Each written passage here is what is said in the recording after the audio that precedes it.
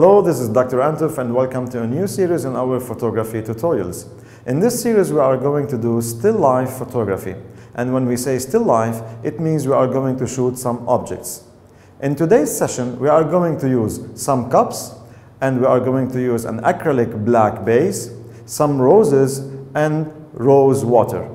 And here we are going to have a nice contrast. The contrast is between the roses and the rose water. So it's a nice combination between the rose itself and the rose water. So in our work, we are going to do different compositions. We will distribute the items in different ways. There is no one lighting setup for all the compositions that we are going to do. So what we are going to do is, we do a certain composition, and then we will look what will be the better or the best lighting setup for this composition, and then we are going to shoot. So for every composition, we are going to do a different lighting setup based on the composition itself. Let's have an idea about the items that we are going to use. First, the acrylic base, which is the most important thing.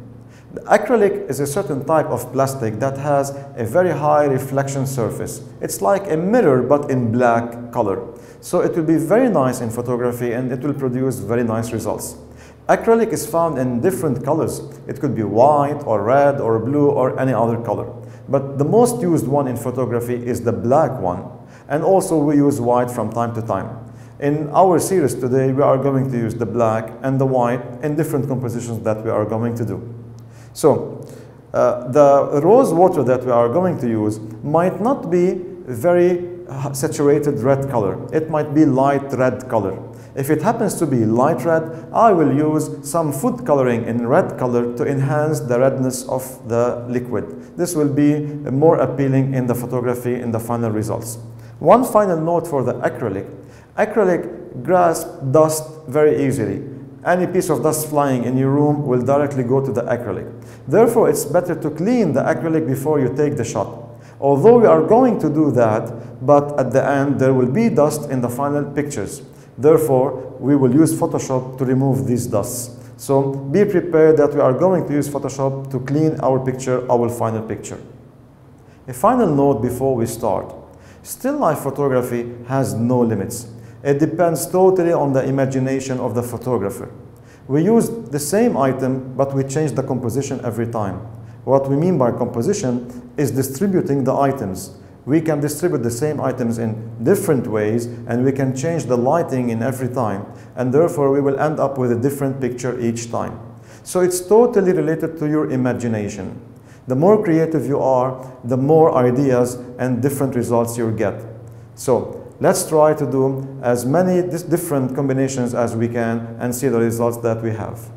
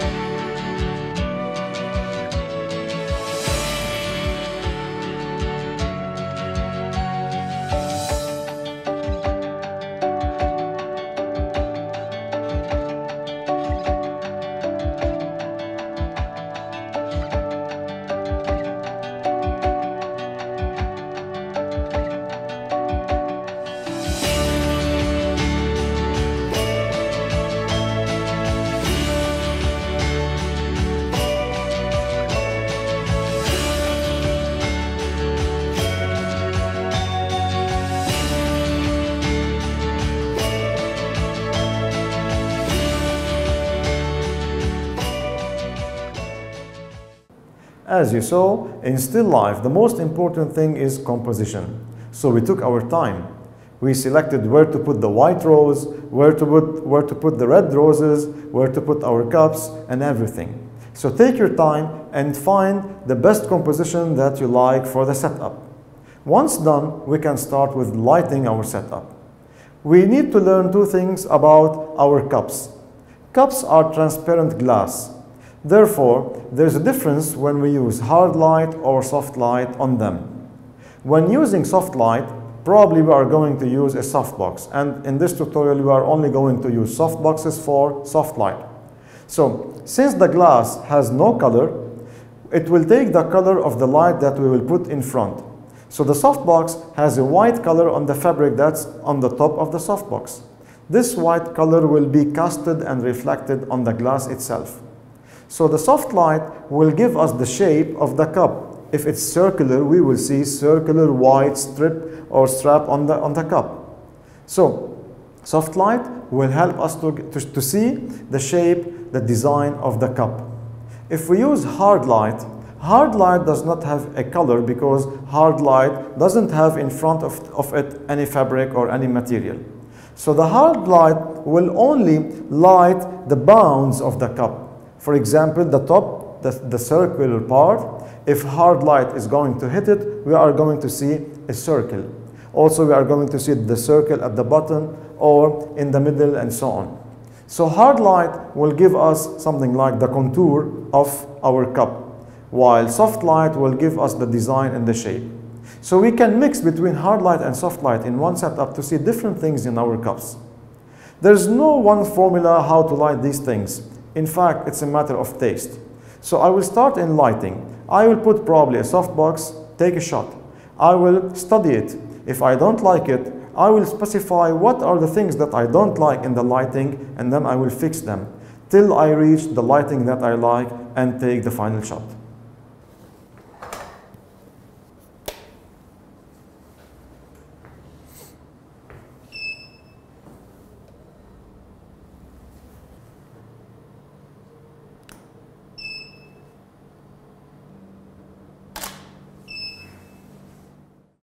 This is the result of the first setup. Before we explain the picture, let's have a fast look on the setup itself. The setup is very simple. Currently it contains only one light which is a softbox. We numbered this on the picture by number 1. So the softbox is directed directly towards the cups and we are taking the picture. Returning to the result, as a first look, one might think that this picture looks nice and the lighting is nice. But in fact, or at least to my taste, this picture has a photographic problem. The problem is the reflection of the softbox on the cups. Yes, to wrap up, we said earlier that when we use a soft light on a transparent glass, this will help us by showing the design of this glass. And this what appeared in this picture. Now we can see the structure of the cups very clearly. And the reflection, the white rectangle on the cups, is due to the white fabric on the front of the softbox which is reflected on the cups. So this is something that we want and it is good at the same time.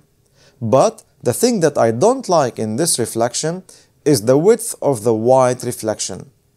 I personally think that this white reflection is very wide and I would like to narrow it. And this is what we are going to do in a second in this tutorial. So one softbox will give this result I don't like the width of the reflection on the glass and I would like to narrow it. Before we continue, a curious question is, how does the same picture look if we don't shoot it using studio light? In other words, if we only use ambient light. And when I say ambient light, it means we are using the light in the room. No flashlight, no speed lights, nothing. So if we only use the light in the room, how does this picture appear? It will look like this picture. You can see that it's totally a different image. Not only it's not artistic, but also it's not beautiful at all. First, you can now see that the backdrop has a black cloth that has a different black intensity than the acrylic. It's now visible by the naked eye. Moreover, the cups doesn't look artistic at all.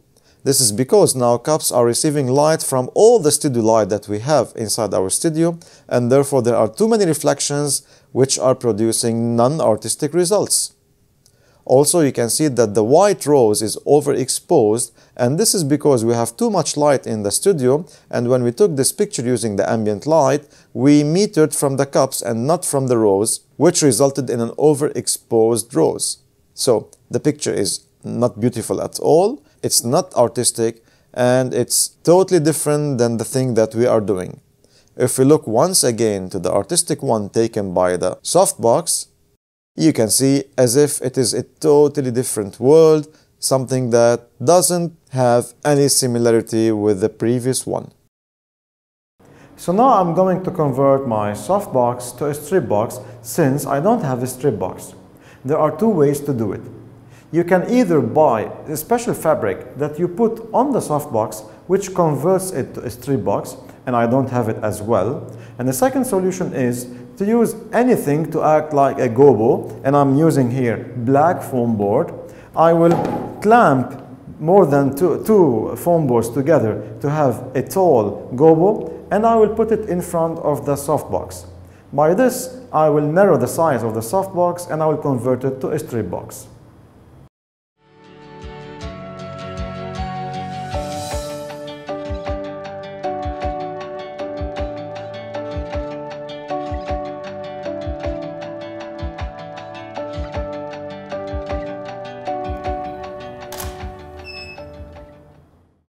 So this is the result of adding the gobo to our softbox. So once again, we are converting our softbox to a strip box. Yes, there is something called a strip box that you can use in photography, but it is expensive. And since you don't use it all the time, you might prefer to convert your softbox to a strip box. And in my case, this is what I did by adding some gobos to my softbox. Let's see the setup once again. So now the setup has two things. Number one is our softbox and number two is the gobo. So once again, what is a gobo? A gobo is anything that you put between your subject and the light which blocks light from coming. In my case, I was using black foam board. So you can put anything that can block the light. So the gobo is set on the left of the softbox, preventing part of the light from reaching our cups. This means that not all the light now will hit the cups and it should produce the desired effect. If we go back to the picture, so this is the result of using one gobo on our softbox. Let's compare it with the previous shot that was taken without any gobo to see by how much this gobo decreased the width of the reflection.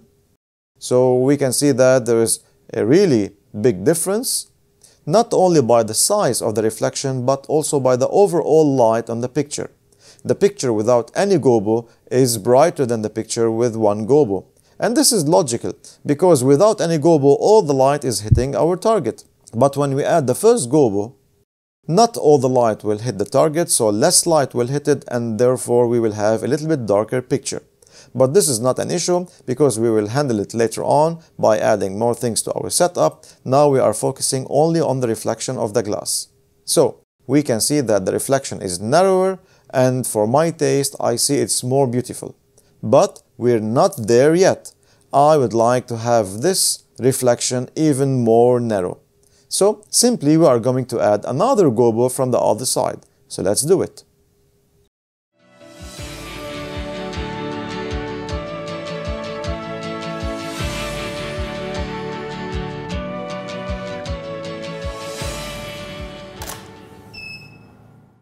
So this is the result of using two gobos and we can clearly see now that the reflection is much narrower and the overall picture is darker. Before entering into details, let's have a look to the setup used this time. So this setup has three things. Number one is our softbox and number two and three are our gobos. Now these gobos are preventing a lot of light from hitting the cups and therefore they are narrowing the reflection on the glass. By adding these two gobos, we are having what we call a strip box. So a strip box is a narrow softbox that throw light in a narrow area. So if you go back to the result, so this picture is the result of using two gobos. Let's do some comparisons. Let's compare this picture with the one with only one gobo. So we can see that with one gobo, the reflection was wider and adding two gobos narrowed it a lot. Now, if we, if we go back to the first picture that was without any gobo, we see how the picture was bright much more and the reflection was really big. Now, if we jump directly from this picture to the one with two gobos to see the main differences, we can see how the reflection is much narrow and the overall picture is darker. So it's a matter of personal taste. To me, I believe that the width of this reflection is good. If you like it even narrower, you can narrow the distance between the gobo that you put in front of the softbox. If you like the reflection to be wider, you can increase the distance between the gobos in front of the softbox. So you can change the size based on the position of your gobos up to your taste. So after I'm satisfied with the width of the reflection, let's continue by focusing on the overall light of the picture since now it's a little bit dark. For sure we are going to add another light source.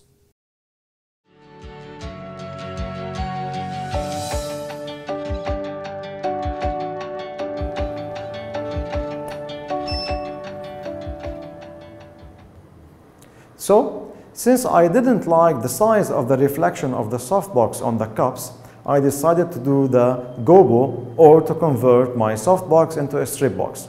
In my first trial, I did only one gobo.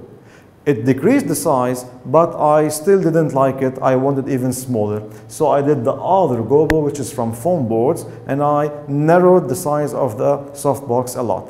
By that, I got the small strip of light that I was looking for. But for sure, the whole environment was not very bright. It was almost dark. I don't want it to be really very bright. I want something in between, something romantic.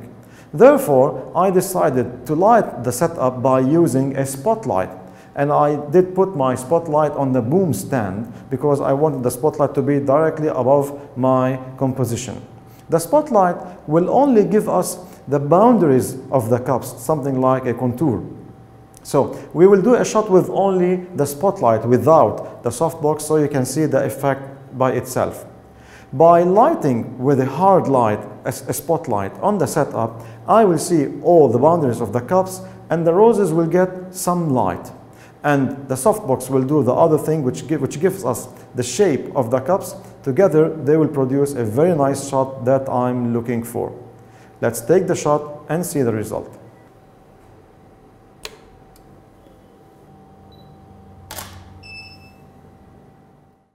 Now this picture is the result of using a spotlight.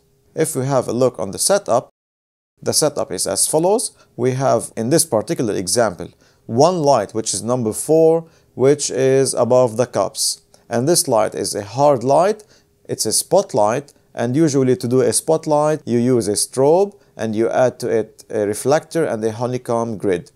The job of the honeycomb grid is to decrease the area of the light and if you'd like to have more ideas about them, you can review my Photography 101 series. This spotlight, which is a hard light, will result in the following picture. The nature of the hard light on the glass is totally different than the soft light.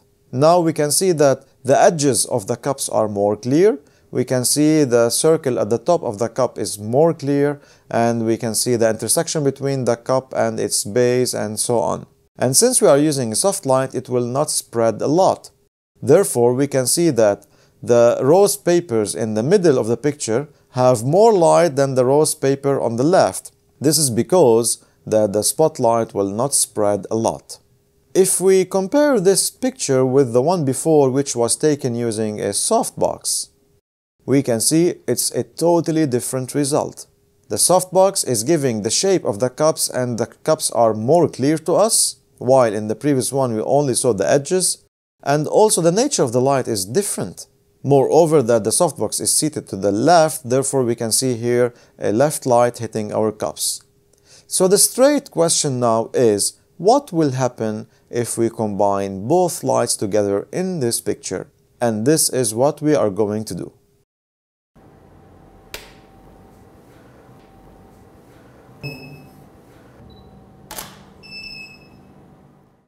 So in this final picture, we see the combination of the two lights producing the result that we want. Once again, let's have a fast look on the setup. The setup is composed of four items. Item number one is the softbox, which is the main light. Item number four is the second light, which is a hard light directed directly over the cups. And items number two and three are the gobos, which prevent all the softbox from hitting the cups. So it's a combination between soft light and hard light, and the result is this picture. This picture has all the targets that we wanted. It has a narrow reflection on the glass, and at the same time a good bright image. We achieved the brightness by adding the spotlight to the picture and we achieved the narrowness of the reflection by adding the gobos to the soft light. If we have another look to the picture without using the spotlight, we can directly see how the picture was darker but it had correct amount of reflection on the glass. And once again if we have a look to the spotlight alone, we can see that there was some brightness on the roses but the cups did not look appealing at all. So by combining both lights together, we reached the target that we wanted.